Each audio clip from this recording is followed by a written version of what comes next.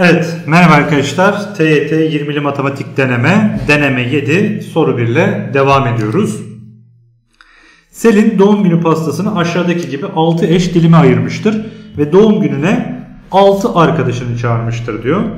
Selin bu pastadan bir dilim yemiş, geri kalan 5 dilimi ise çağırdığı arkadaşlarını eşit olarak paylaşmıştır. Buna göre bu pastadan Selin'in arkadaşlarından herhangi birinin payını düşen miktarın tamamına oranı kaçtır demiş. Şimdi bir tane yedi arkadaşlar. Geriye ne kadarı kaldı? 5 tanesi kaldı. Yani 5 bölü 6'sı kalmıştır arkadaşlar. E bunu 6 arkadaşına eşit paylaştırıyorsa o zaman bu 5 bölü 6'yı 6'ya bölersek 5 bölü 36 olur arkadaşlar. Yani e, Selin'in arkadaşlarından herhangi birinin payına düşen miktarın tamamının oranı 5 bölü 36'dan Denizli gelir. Soru 2. Evet. Diyagramlı bir soru. ABC'de de birbirinden farklı asal sayılarda demiş arkadaşlar. Daire içindeki sayıların çarpımı ok ile gösterilen dairenin içindeki sayıya eşittir demiş. Buna göre A artı B artı C toplamını sormuş. Şimdi bakın 202 burada bir sayı var çarpılmış 6666 yapmış. 6666'yı eğer 202'ye bölerseniz arkadaşlar 33 olduğunu göreceksiniz. Yani buradaki sayı 33. Şimdi bakıyorum C ile D sayılarının çarpımı 33 yapacak. Bunlar asal olduğuna göre hemen kolaylıkla C'nin veya D'nin 3, diğerinin de 11 olduğunu görürüz. İşte C'yi 3 alalım, D'yi 11 alalım. Arkadaşlar 202 de bakın 202 çift bir sayı. O zaman demek ki çarpanlarından biri asal, tek çift olan asal sayı 2 olduğundan A'yı 2 alalım. 202'yi 2'ye böldüğümüzde B'de 101 olur. Bunları topladığımızda da 16 cevabın 117 yani Bursa olduğunu görürüz.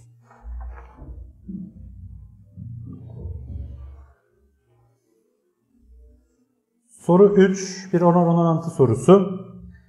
A bölü B, C bölü D 5'e eşit verilmiş arkadaşlar. Buna göre bir e, orantı çarpımı, oran çarpımları sorulmuş. Şimdi bakın burada e, A ve B, C, D'nin ne olduğu sonucu etkilemeyeceğine göre arkadaşlar buradaki orana uyacak şekilde bakın A'yı 5, B'yi 1, aynı şekilde C'yi 5, D'yi 1 alırsak yerine koyduğumuzda 5 eksi 2 çarpı 5 10 bölü 10 çarpı 5 artı 1 B'yi de 1 almıştık.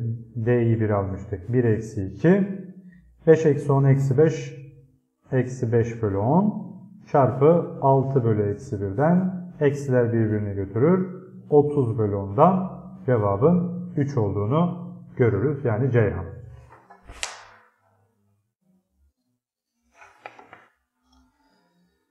Soru 4. A ve B birer asal sayı demiş. Evet şurada bir sayıdan bahsetmiş. Bakın bu sayıyı düzenleyeceğiz şimdi. Bu da asal sayıymış. Şimdi göreceğiz ki bu bir çarpanlarına ayrılıyor. Bakın A parantezine alırsak A kare artı B kare gelecek. Buradan da B eksi B parantezine alırsak A kare artı B kare gelecek. A kare artı B kareler ortak olduğu için a kare artı b kare parantezinde a eksi b gelecek. Şimdi bu ifade bir asal sayıysa ve biz bunu çarpanlarına ayırdıysak o zaman bu çarpanlardan biri kesinlikle bir, diğeri de kendisi olmak zorunda arkadaşlar. Şimdi a kare artı bakın a ve b birer asal sayı demiş. a kare artı b karenin 1 olma ihtimali yok. En küçük sayılar 2 ve 3'ü denesek bile olmaz. O zaman a eksi b'nin 1 olması gerekir arkadaşlar. Şimdi a eksi b'yi 1 yapan iki asal sayı hangisidir? a 3, b de 2'dir arkadaşlar. Başka bir ihtimalimiz yoktur.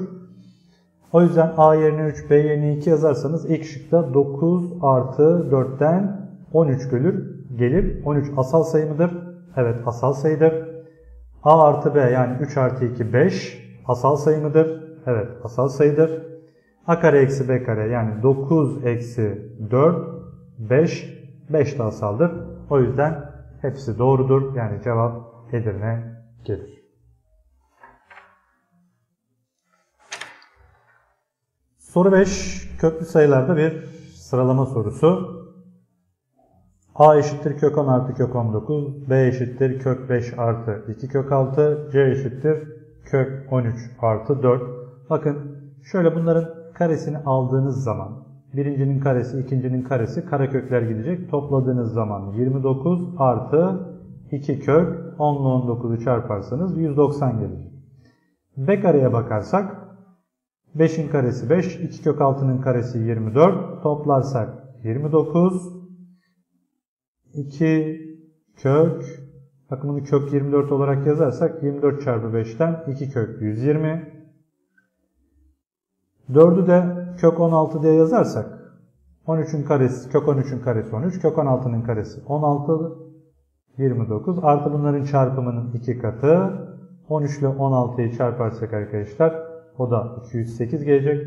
Bakın şimdi burada 29'lar ortak, 2'ler ortak. O zaman kökün içi hangisinde büyükse o sayı daha büyük olacak. Yani buradan 208 daha büyük olduğu için c kare, sonra 190 yani a kare, sonradan b kare. E kareleri büyükse bunların hepsi de pozitif sayı olduğu için c büyük, a büyük, b gelecek. Yani doğru cevap Bursa olacak. Evet soru 6. Aşağıdaki eşit kollu terazilerin denge durumları gösterilmiştir. Yuvarlak metal kürenin ağırlığı bir tam sayıdır demiş arkadaşlar. Şimdi bunun ağırlığına x dersek burada arkadaşlar toplam bu kefe 4x olacak. Dikkat ederseniz 45 kilogram daha aşağıda durduğu için daha ağırdır. Yani 4x burada 45'ten küçüktür arkadaşlar. Buraya bakarsak Burası da 2x artı 5 olacak. Burada da 2x artı 5'lik kefe daha aşağıda durduğu için daha ağırdır. Yani 2x artı 5 26 kilogramdan büyüktür. Buradan 2x büyüktür. 21 gelir arkadaşlar. Şimdi 4x küçüktür 45'ti. 45'i 4'e böldüğümüzde 11,25 gelecek. 2x 21'den büyüktü. 21'i 2'ye bölersek 10,5 gelecek. Yani x arkadaşlar 10.5 ile 11,25 arasında olacak. Ağırlığı bir tam sayıydı. O zaman 10.5 ile 11,25 arasındaki tam sayı 11 olacak. Yani doğru cevap C cevap.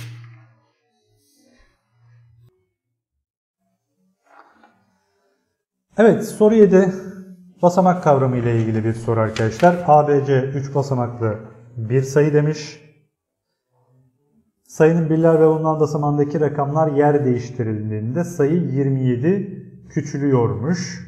Arkadaşlar birler ve onlar bakın birler ve onlar yer değiştirirsek C, A, C, B sayısı olur. Bu sayı 27 küçülüyormuş. Yani ABC sayısı daha büyükse ABC eksi ACB farkı 27'ymiş arkadaşlar. Bakın buradan hemen e, bunları açarsak işte 100A, 10B, C diye buradaki 100A'lar götürecek. 10B eksi B'den 9B, C eksi 10C'den 9C kalacak. Buradan da B eksi C'yi 9'a sadeleştirirsek 3 bulacağız.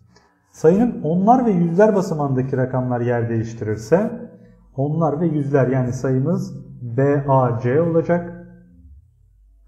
İlk sayımız A, B, C idi. Bu sefer de sayı 540 büyüyormuş. Yani BAC sayısı daha büyük demektir. Buradan da çözümlersek bakın 100B, 10B, 90B gelecek. C'ler birbirini götürecek. 10A eksi 100A'dan da 90A çıkacak. Bu da 540. Bakın 540 ile 90'ı sadeleştirirsek de B eksi A farkı 6 gelecek. Bu koşullara uygun yazılabilecek en büyük 3 basamaklı A, B, C sayısının rakamları toplamı kaçtır? Şimdi A, B, C. Bakın en büyük olması için A'nın olabildiğince büyük olması lazım. Şimdi denklemlere bakalım. B eksi A 6'ya eşitmiş arkadaşlar. Şimdi biz A'yı burada 9 aldığımızda B'nin 15 olması gerekir. Bu da rakam olmaz. Buradan arkadaşlar A'nın en çok 3 olduğunu göreceksiniz. Çünkü 4 olursa bu tarafa attığınız zaman yine 10 olur. B2 basamaklı bir sayı olur. Rakam olur. O zaman A'yı 3 alacağız. A 3 olursa B 9 olacak arkadaşlar. B 9 olursa C'de 6 gelecek. Buradan rakamları topladığımızda 18 yani Denizli gelecek. Evet. Soru 8. İkinci derecede bir denklem vermiş. Denklemin köklerinden bahsetmiş. Bakın iki tane kökü varmış arkadaşlar. Bir kere iki kökü olduğu için bunun deltası yani b kare eksi 4ac arkadaşlar sıfırdan büyük demektir. O zaman buradan hemen b kare büyüktür. 4ac yazabiliriz. Üçüncü şıkka baktığımızda b karenin 4ac'den küçük olduğu söylenmiş. O yüzden üçüncü ifademiz yanlıştır. Ve x1'in mutlak değerinin x2'nin mutlak değerinden küçük olduğu verilmiş arkadaşlar. O zaman şöyle düşünebiliriz. Mesela x1'i eksi 1 alırsak x2'yi 2 alacağız. Çünkü şuradaki şarta da say e, uyması gerekir. x1 sıfırdan küçük olacak. x2 de sıfırdan büyük olacak. Yani büyük olan kökü 2, küçük olan kökü eksi 1 alırsak arkadaşlar bu b bölü a dediğimiz şey aslında kökler toplamının ters işaretlidir. Kökler toplamı neydi? Eksi b bölü a'ydı. E, kökler toplamına bakın arkadaşlar. 2 eksi 1'den 1 gelir. E, eksi b bölü a 1 ise b bölü a eksi 1 olur. Yani negatif olması gerekir. O yüzden 1 de yanlıştır arkadaşlar.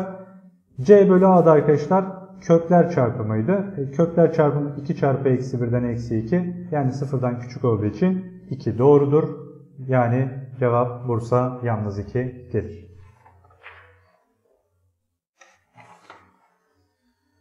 Soru 9. Bir çarpanlara ayırma sorusu. Bakın burada iki küp farkı var. Hemen oradan işleme başlarsak. Bu 4'ün küpüdür arkadaşlar. O yüzden burası a eksi 4. Sonra a kare. Birinci ile ikinciyi çarpıyoruz. 4a. İkincinin karesi yazıyoruz. Bölü diyor hemen çarpıp ters çevirelim. a kare eksi 16 2 kare farkıdır arkadaşlar. O da 4'ün karesi olduğu için a eksi 4. a artı 4 bölü a artı 4 gelir. gelir. Gerekli sadeleştirmeleri yapalım. Bakın bunlar da gider. a eksi 4 de gider ve sonuç 1 yani Adana gelir.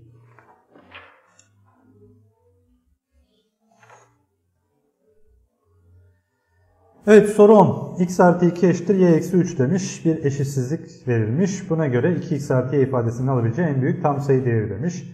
Arkadaşlar hemen şurada y eksi 3 yerine x artı 2 yazarsak bakın paydalar aynı olup 2 bölü x artı 2 büyüktür 1 olur. Buradan da ters çevirdiğimiz zaman x artı 2 bölü 2 küçüktür 1. Yani x artı 2 her iki tarafı 2 ile çarparsak 2'den küçük x sıfırdan küçük olur arkadaşlar. E, şurada bakın x artı 2 2'den küçük bulmuştuk. Onun da eşiti y eksi 3'tü. y eksi 3 yazarsak y eksi 3 2'den küçük. y de 5'ten küçük olur arkadaşlar. Şimdi 2x artı y ifadesini oluşturmak için bakın bunu 2 ile çarparsanız çünkü bunlar tam sayı olmadığı için tam sayı seçemeyeceğim buraları. 2x yine sıfırdan küçüktür. E, y de 5'ten küçüktü. Bunları toplarsak 2x artı y küçüktür 5. En büyük tam sayı değeri de 5'ten küçük olacağı için 4 yani Bursa gelir.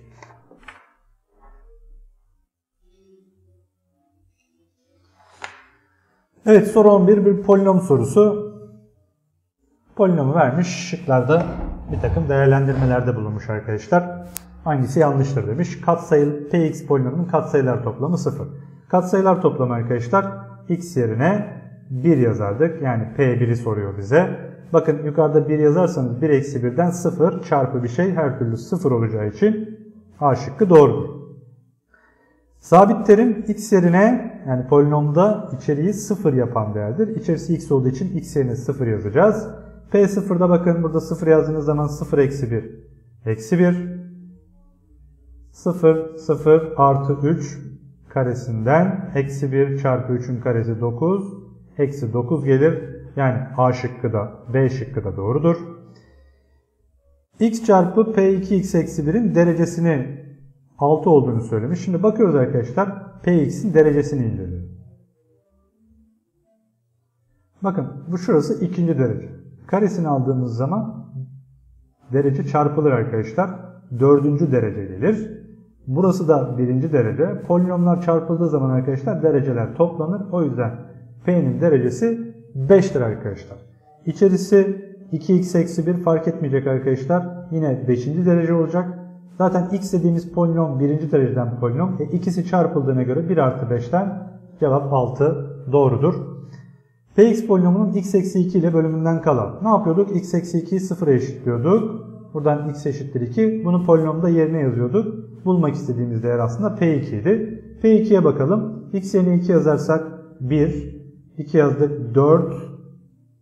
Eksi 12 artı 3'ün karesinden. Bakın bu işlemi yaptığınız zaman bunun da 25 olduğunu göreceğiz. O yüzden Denizli de doğru.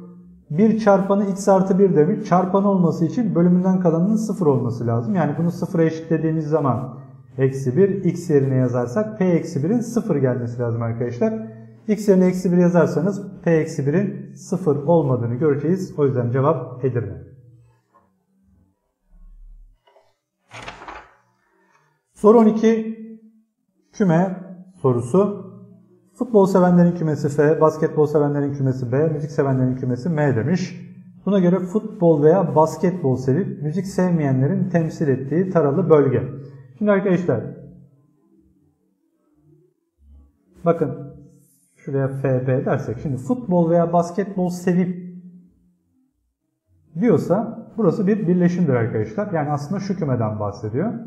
Şimdi ama müziği sevmeyecek diyor arkadaşlar. Müziği sevmeyenler de bakın şurası müziği sevenler. O zaman bunların dışındakileri taramamız lazım. Ortak sevmeyenlerin temsil ettiği taralı bölge ortak olabilmesi için. O zaman şurada bakın şu kısım müziği sevenlerin kısmı. Halbuki futbol veya basketbol sevip müzik sevmeyeceklerdi. O yüzden şu kısım müzik sevenler olduğu için oraya atacağız. Yani Adana şıkkına baktığımız zaman doğru cevabı göreceğiz. Soru 13 bir fonksiyon sorusu. Tek fonksiyonun tanımını vermiş arkadaşlar. Tabi eğer bir fonksiyon polinom şeklindeyse arkadaşlar tek fonksiyon olabilmesi için derecelerin tek olması gerekir arkadaşlar. Yani çift dereceli terim olmaması gerekir. O yüzden burada x kareli terimin önündeki katsayının 0 olması gerekir. Yani buradan a'nın eksi 3 olduğunu görürüz. a eksi 3 olunca arkadaşlar bakın burası da sıfırlayacak zaten x üzeri b'nin bir önemi kalmayacak. Ve en sonunda arkadaşlar sabit sayı. Tabi tek fonksiyonda sabit sayı da olmayacak. Çünkü sabit sayıyı şöyle düşünebiliriz. b artı 2 çarpı x üzeri 0. Yani bakın çift derece olmuş olur. O yüzden çift derece olmaması için onun önündeki katsayının 0 olması gerekir. Yani b de buradan eksi 2 gelir. Çarptığımız zaman da cevabın 6 yani Adana olduğunu görürüz. Soru 14. Evet, kökleri imaj, imajiner olan bir ikinci derece denklem sorusu. Arkadaşlar biliyoruz ki köklerden biri 4 eksi i ise diğer kökü de 4 artı i olmak zorundadır. Yani eşleniyor olmak zorundadır. O yüzden bakın bunun kökler toplamı 4 artı ile 4 eksiyi topladığımız zaman 8 olur. Kökler çarpımı da Bakın bunlar birbirine eşleniği olduğu için iki kare farkı gibi düşünürsek çarptığımızda 4'ün karesi 16 eksi i'nin karesi i kare eksi 1'di. Eksi eksi 1'den artı 1 kökler çarpımı da 17 gelir. Şimdi ikinci derece denklemi nasıl oluşturuyorduk? x kare eksi x'in katsayısı kökler toplamı yani ona t diyelim artı sabit olan sayı kökler çarpımıydı. Eşittir 0 diyorduk. Yani kökler toplamı bakın 8 bulduk. Kökler çarpımını da 17 bulduk. Doğru cevap x kare eksi 8x artı 17 yani denizli gelir.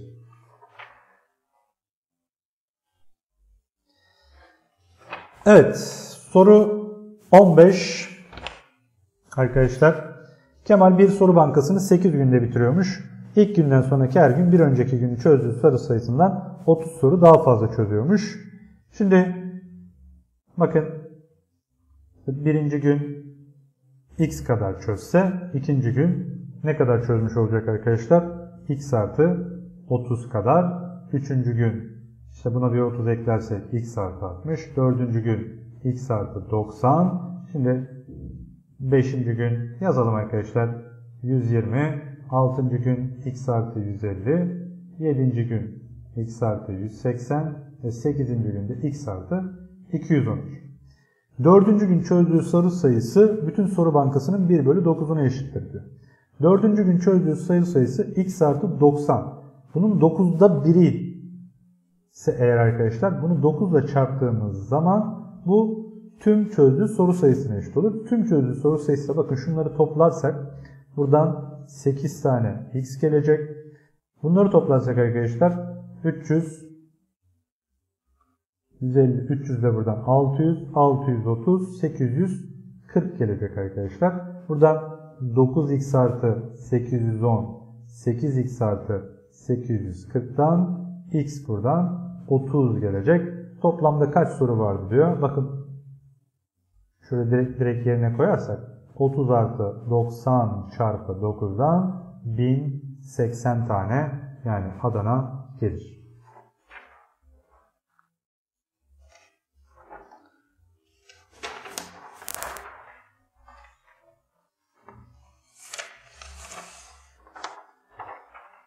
Evet, soru 16.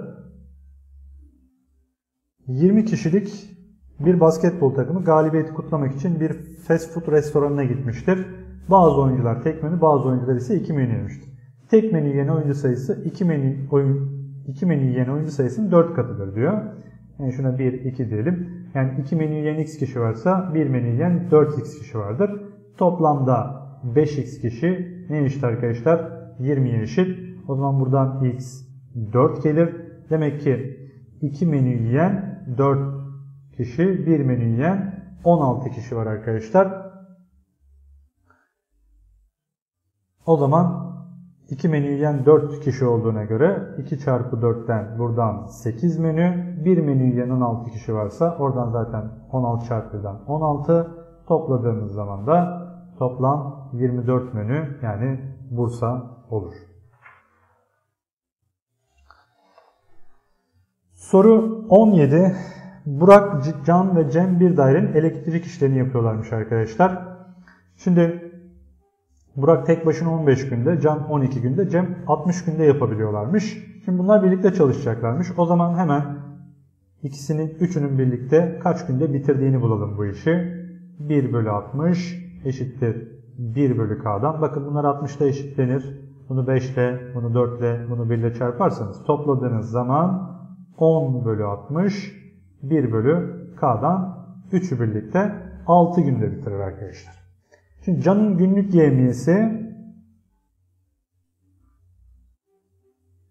Cem'in günlük yemiyesinin 2 katı. Burak'ın günlük yemiyesi de Can'ın günlük yemiyesinin 2 katı. Yani Cem'in günlük yemiyesine x dersek Can'ınki 2x, Burak'ınki de 4x olur. O zaman hepsi arkadaşlar bakın bir günde 7x'lik yevmiye alır. Toplam 6 gün çalışacakları için 7x çarpı 6'dan aldıkları ücrette 4200 liraydı. Bunu böldüğümüz zaman x arkadaşlar 100 gelir. Can'ın günlük yemiyesi de 2x olduğu için cevap 200 yani Bursa olur. Evet arkadaşlar soru 18. 180 basamaklı bir yürüyen merdiven yukarı doğru sabit hızla çıkıyormuş. Ancak Murat ve Can da bir yandan da merdivenden yürüyerek çıkıyorlarmış arkadaşlar. Merdivenden indiklerinde Murat 60 basamak, Can ise 80 basamak adım atmıştır. Demek ki çıkarken arkadaşlar Murat 60 basamağı kendisi çıkmışsa 180'den 60 çıkardığımızda 120 basamakta merdiven tarafından çıkarılmıştır. O zaman buradan şunu görüyoruz. Merdivenin hızı Murat'ın hızının 2 katıdır arkadaşlar. Yani Murat'ın hızına V dersek merdivenin hızı 2V olacak arkadaşlar. Can'a bakarsak Can 80 basamak çıkıyor. O zaman geri kalan 180 eksi 80 yani 100 basamağı merdiven sayesinde çıkmış oluyor. Ee, buradan da merdivenin hızının Can'ın hızına oranını bulmuş oluyoruz arkadaşlar. İşte %80 oran verdiğimizde Can'ın hızına da 8 V1 dersek merdivenin hızı 10V1 olacak arkadaşlar. Şimdi burada şöyle kat alırsak mesela 10V1 yerine bunun hızına 10V dersek arkadaşlar canın hızı 8V olacak. Şimdi burada ilk başta bunu 2V kabul etmiştik. 10V yani 5 ile genişletirsek o zaman Murat'ı da 5 ile genişletiriz. Yani 5V olur. O zaman Murat'ın hızının canın hızına oranı 5V bölü 8V'den 5 bölü 8 yani Ceyhan gelir. Evet soru 19. 20 kilo ağırlığındaki bir kaktüsün %98'i sudur demiş arkadaşlar. O zaman geri kalan kısmı yani %2'lik kısmı ne olacak? 20 çarpı 2 bölü 100 buradan 4 bölü 10'luk su dışında bir ağırlık kalacak arkadaşlar. Şimdi tabi bu ağırlık bakın diyor ki kaktüs 3 gün bekletildikten sonra suyun bir kısmı buharlaşıyor. Bu buharlaşmıyor.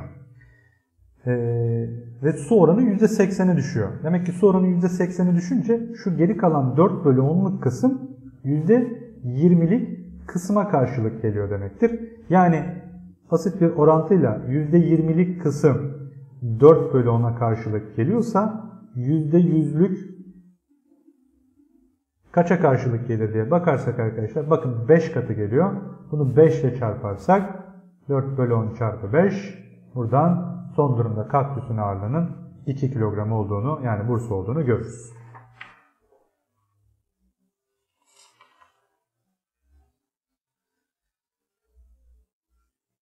Soru 20. Bir kutu kurabiye 25 lira olup her bir kutuda bedava kutu kurabiye kuponu vardır. Ancak 3 kupona bir kutu kurabiye alınıyormuş. Buna göre 300 lira parası olan bir kişi en çok kaç kutu kurabiye alır? Şimdi şöyle düşünün arkadaşlar. 300 lira kutusu 25 liradan bakın bölersek 12 kutu kurabiye alır. Şimdi her 3 kupona da bir kutu kurabiye aldığı için elinde 12 tane de kurabiyeden 12'yi 3'e böldüğümüz zaman 4 kurabiye daha bedavadan alabilir. E 4 kurabiye aldı. E yine 3 kupona bir kutu kurabiye alabiliyordu. O zaman 4'ü 3'e bölersek bir kutu da buradan alır. Artık elinde bir kaldığı için daha fazla kurabiye satın alamayacak. Yani toplamda en fazla 17 kutu kurabiye alır. Cevap Edirne gelir.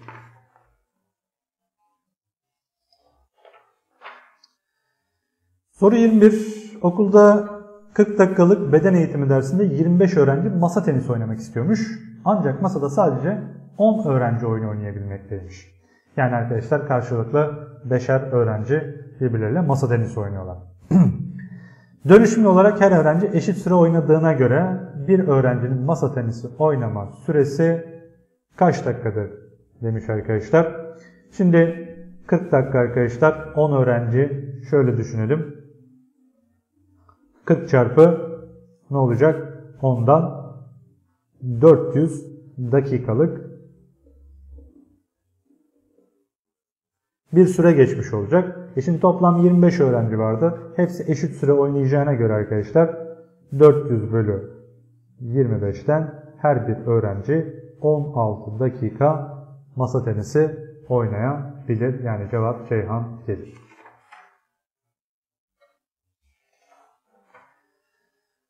Soru 22.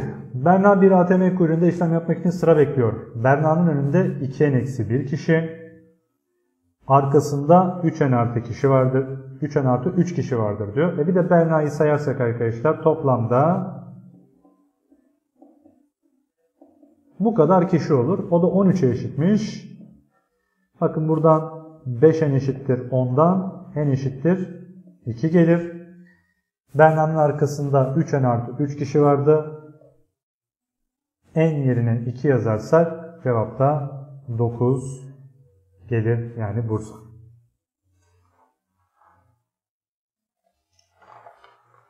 Evet soru 23. Yukarıdaki süslemede 64 tane beyaz kare olduğuna göre kaç tane siyah kare vardır? Şimdi şöyle bakalım arkadaşlar. Birinci sütunda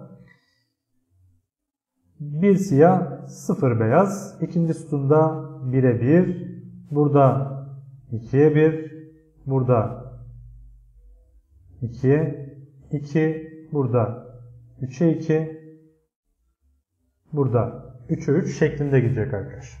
Şimdi beyaz kare sayılarına bakarsanız 1 1, 2 2, 3 3 yani her bir doğal sayıdan 2 tane geliyor. Yani şuraya yazarsak arkadaşlar 1 artı 1, 2 artı 2, 3 artı 3 şeklinde gidecek. 4 artı 4, 5 artı 5, 6 artı 6, 7 artı 7. Şimdi tabi arkadaşlar illa 8 artı 8'de bitmesi gerekmeyecek. Çünkü toplamda 64 tane beyaz karede. Bakın bunları toplarsanız 6, 12, 20, 30, 42, 56 oluyor arkadaşlar. E 64 olması için demek ki buranın 8'de kalması gerekecek. Yani toplamda bakın aslında beyaz kare sayısı 0 ile başlamıştı. Yani yukarıdan aşağıya kaç tane sütun olduğuna bakarsak ne olacak arkadaşlar? 1, 2, 3, 4, 5, 6, 7, 8, 9, 10, 11, 12, 13, 14, 15, 16 tane var arkadaşlar. Yukarıdan aşağıya sayarsak. Evet. Şimdi siyah kare sayılarına bakarsak her iki sütunda birer artarak gidiyor. Bakın şurada 1, 1. Yani bu iki sütun. Sonra 2, 2. Buradan bir iki sütun. Toplamda şimdi 16 sütun olması için bunu 2'ye böldüğümüzde en son kaça kadar gider arkadaşlar? 8 artı 8'e kadar gider. Bu da bakın birden 8'e kadar olan sayıların toplamı nedir arkadaşlar? 8 çarpı 9 bölü 2'dir. Ve ondan 2 tane olduğu için böldüğümüzde de cevap 72 gelir. Yani Ceyhan.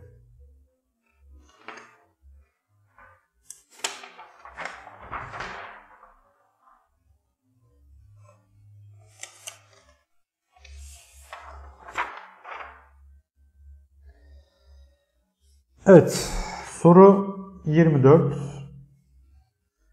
Bir AVM'de yangın tatbikatı yapılacağı için AVM'nin açık ve kapalı otoparkındaki bazı araçların yerleri değiştirilecek. AVM'nin AVM'nin hem açık hem de kapalı otoparkında toplam 500 araç vardır. Şimdi şuraya açık otopark diyelim. Şuraya kapalı otopark diyelim. Şimdi açık otoparktan 60 araç kapalı otoparka alınmıştır diyor arkadaşlar. Şimdi açık otoparkta x olsun. Toplam 500 araç varsa kapalı otoparkta da 500 eksi x tane araç olur. Açık otoparktan 60 araç kapalı otoparka gelirse arkadaşlar açıkta x eksi 60 buraya da 60 eklersek 560 eksi x olacak. Kapalı otoparktaki 80 aracın yarısı yani 80'in yarısı 40 açık otoparkta açık otoparka koyarsak x eksi 60 artı 40 buradan 80 azaltırsak arkadaşlar 480 eksi x yani x artı x eksi 20 burada da 480 eksi x kalacak. Son durumda diyor açık otoparktaki araç sayısı yani x eksi 20 kapalı otoparktaki araç sayısının dörtte birine eşittir diyor. Yani bunu arkadaşlar bakın 4 ile çarparsak 480 eksi x'e eşit olacaktır. Buradan da işlemi yaparsak 5x 80'i bu tarafa atarsak 560'dan x eşittir 112 gelir. Buna göre ilk başta kapalı otopark. İlk başta buydu arkadaşlar. 500 eksi 112'den cevap 388 gelir yani Edirne olur.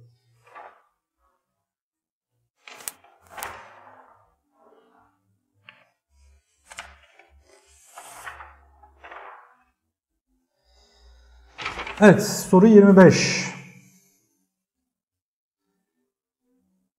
Evet satış fiyatı alış fiyatı ile ilgili bilgilendirme yapılmış arkadaşlar. Yukarıdaki grafikte 3 farklı ürünün alış ve satış fiyatları verilmiştir. Bu 3 üründen en az birer tane olmak üzere 16 adet satılmıştır. Tüm satışlarında toplam 20 lira kar elde edildiğine göre alış fiyatı 5 lira olan üründen kaç lira kar elde edilmiştir? Şimdi bakın şuna birinci ürün diyelim. Şuna ikinci ürün. Şuna üçüncü ürün diyelim. Şimdi birinci üründen 2'ye alıyor, 4'e satıyor. Yani her birinden karı 2 lira arkadaşlar. Şuraya yazın. İkinci ürün 5 liraya alınıp 6 liraya satılıyor. Yani buradan 1 lira kar ediyor. Üçüncü üründe arkadaşlar 10 liraya alıp 12 liraya satıyor. Bundan da 2 lira kar ediyor. Şimdi toplamda 16 adet satılmıştır diyor ve tüm satış sonunda 20 lira kar elde ediliyor. 5 lira olan üründen kaç adet satılmıştır diyor. 5 lira olan ürün neydi? İkinci ürünümüzdü. Bak şimdi buna x tane dersek, buna y tane dersek arkadaşlar bu da toplamda neydi arkadaşlar? 16 adet satılmıştı. O zaman 16 eksi bunların toplamı x artı y olacak. Şimdi tanesi 2 tanesinden 2 lira kar elde ediyor. Y tanesinden 2y lira kar eder. Buradan x buradan da arkadaşlar 2 çarpı 16 eksi x eksi y elde eder. Bu da 20'ye eşit olur. Bakın bu işlemi yaparsak 32 eksi 2x eksi 2'ye eşittir. 20'den 2y'ler birbirini götürecek. Buradan da x eşittir 12 gelecek yani Edirne.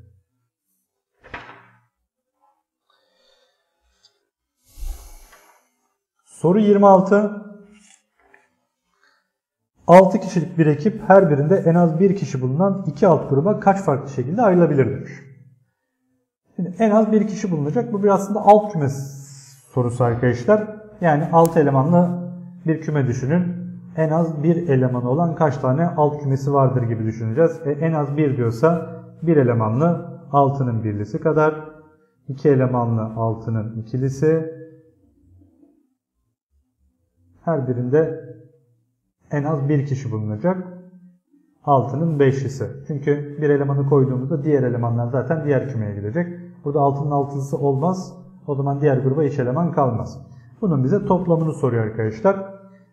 Ee, tabi bunu hesaplayabiliriz ama bakın şurada 6 üzeri 6'nın sıfırlısı ve 6'nın altılısı olsaydı burası arkadaşlar toplam 2 üzeri 6'ya eşit olurdu. E bunlar olmadığına göre bu toplam bulmak için 6'nın sıfırlısı 1'dir. 6'nın altılısı da 1'dir arkadaşlar. Çıkartırsak 64 eksi 1'den cevap 62 yani Ceyhan gelir.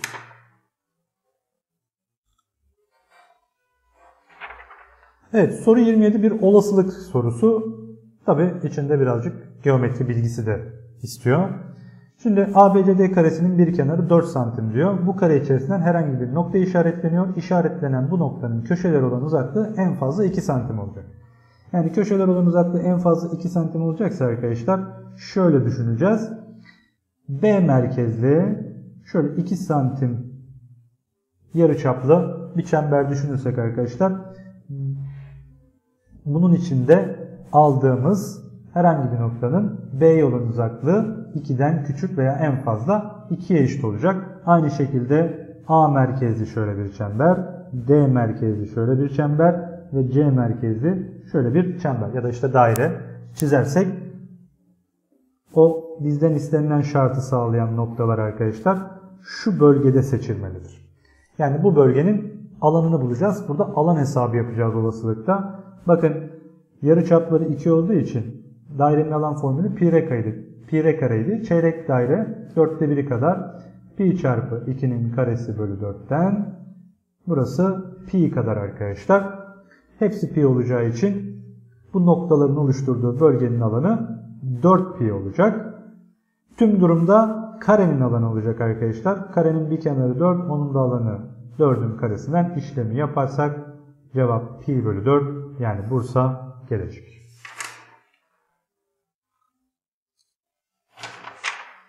Evet soru 28. Şimdi soruyu okursunuz arkadaşlar. Kısaca şunu demek istiyor. Şuradaki noktaları kaleminizi kağıttan kaldırmadan doğru parçaları şeklindeki çizgilerle birleştirirsek en az kaç doğru parçası çizmemiz gerekir diyor arkadaşlar. Tabi bakın illa böyle sadece noktalar ve noktaların arasında hareket etmeniz gerekmiyor arkadaşlar. Bakın şu çizimi yaparsanız 1 tam böyle düşeyinden geçeriz. 2 bunu birleştiririz. 3 ve şunu da birleştirmek için 4 hareket yapmış oluruz. Yani en az 4 doğru parçası çizmek gerekir.